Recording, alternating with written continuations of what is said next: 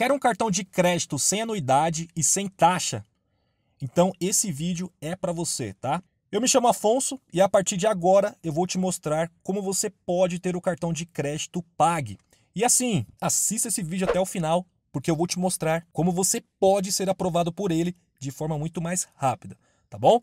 Só que é o seguinte, antes de eu passar algumas informações sobre o cartão Pag, eu tenho um recado bem importante para você que tem uma pontuação de score baixa. Você pode sim ser aprovado pelo PAG, tá? Porém, suas chances são bem menores quando se comparado às pessoas que têm score alto, tá bom? Porque pessoas com score alto têm um nome muito mais confiável no mercado, com muito mais credibilidade, né? E com isso fica muito mais fácil dela ser aprovada.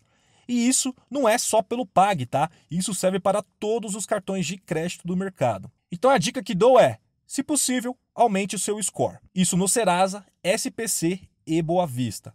Caso você não saiba como fazer isso, não tem problema, porque eu estou disponibilizando aí no primeiro link da descrição o acesso do meu mini curso 100% gratuito, tá? Você não vai pagar nada por isso, onde eu mostro um passo a passo bem simples de seguir para você aumentar o seu score de um jeito muito mais rápido e simples, tá?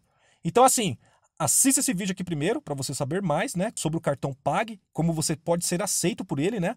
E depois clique no primeiro link da descrição para você ter acesso aí ao meu mini curso 100% gratuito, onde eu revelo todos os detalhes para você aumentar o seu score de forma muito mais rápida e simples, OK?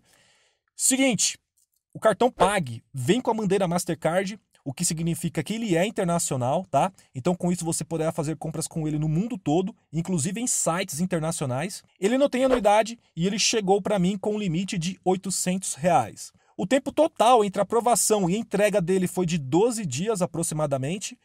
Tá aparecendo na tela agora o seu aplicativo, onde você poderá ver as compras já feitas, né?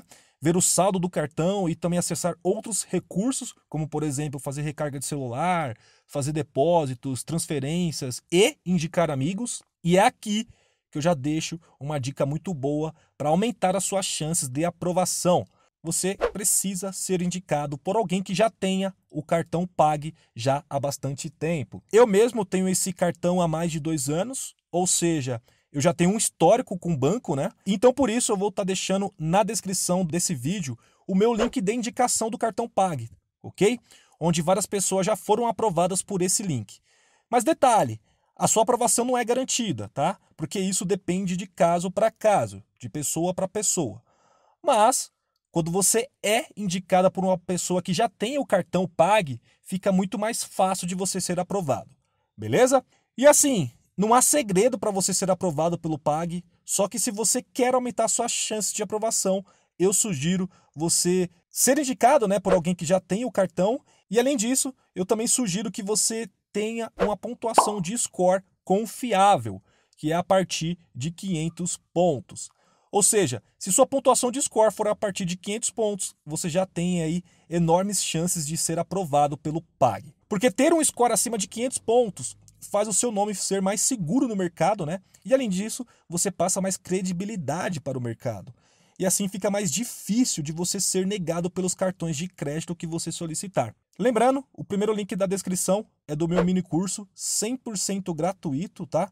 Onde eu mostro um passo a passo bem simples de seguir para você aumentar o seu score e ter um nome com muito mais credibilidade no mercado. Então vá lá na descrição e já acessa aí esse mini curso antes que ele saia do ar. Tá ok? Então é isso. Espero ter ajudado você com esse vídeo. Um grande abraço e até mais!